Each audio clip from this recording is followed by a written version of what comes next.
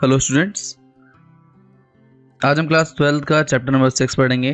That is non profit organisation ये इसका part fifth है. रिमेनिंग पार्ट के लिंक्स डिस्क्रिप्शन में गिवन है. आवाज़ जाकर के देख सकते हैं.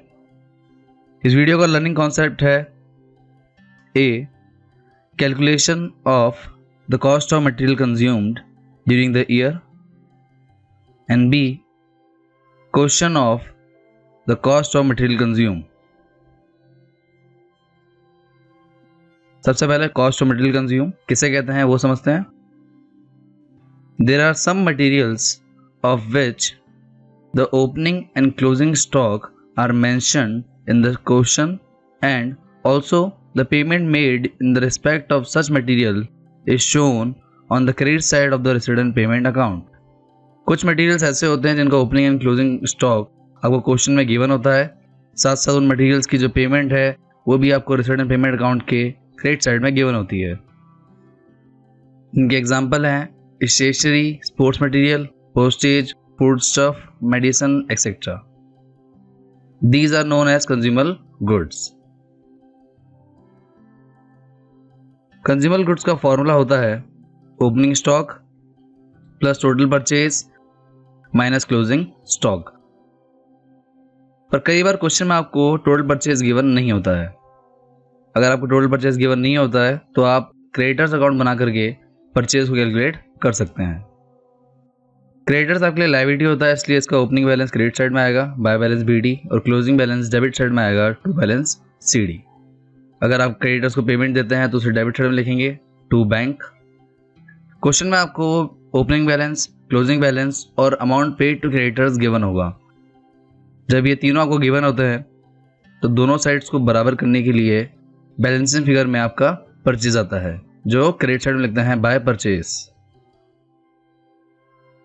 इस तरह आप परचेज को फाइंड आउट कर सकते हैं और फॉर्मूले में पुट करके कंज्यूमर गुड्स निकाल सकते हैं। तो इसका क्वेश्चन देखते हैं। ये क्वेश्चन नंबर तीन है। How will you deal with the following items while preparing the final accounts of S H club question में आपको स्टॉक ऑफ़ स्टेशनरी गिवन है।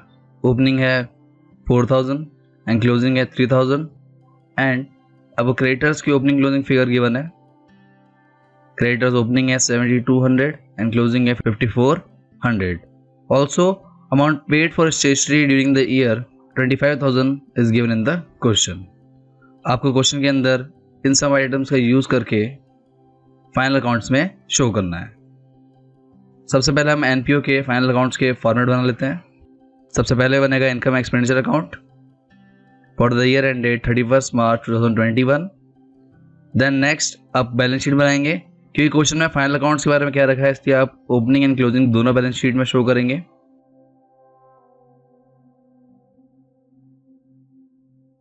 फ़र्स्ट बैलेंस शीट आपकी क्लोजिंग बैलेंस शीट है एंड सेकंड वन आपकी opening balance sheet है।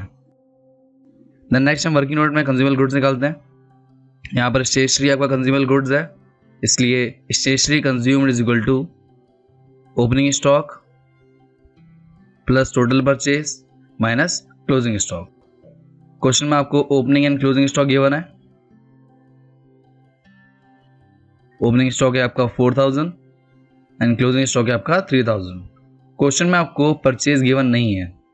जब purchase given नहीं होती तो आप क्रेडिटर्स अकाउंट बनाते हैं।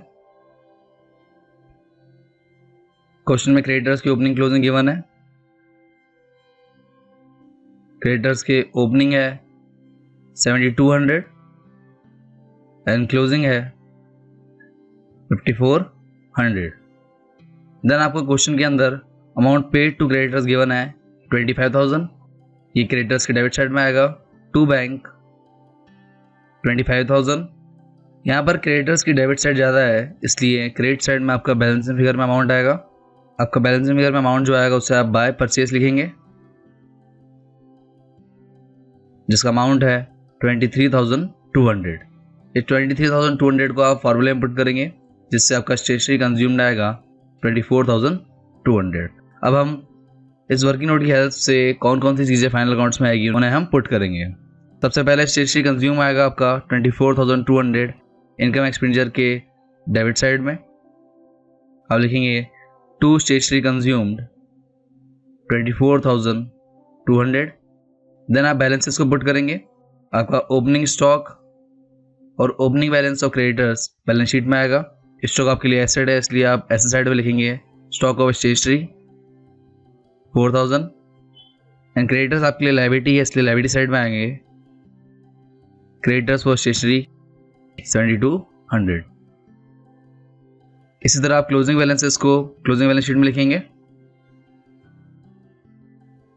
आपका क्लोजिंग स्टॉक है three thousand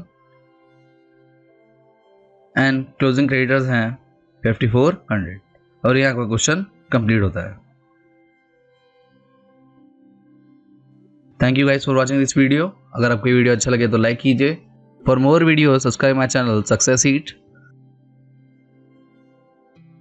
आप इस चैप्टर के नोट्स डाउनलोड कर सकते हैं, जिनका पीडीएफ लिंक डिस्क्रिप्शन में गिवन है।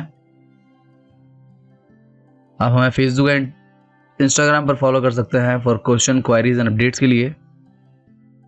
And click on bell icon for daily updates thank you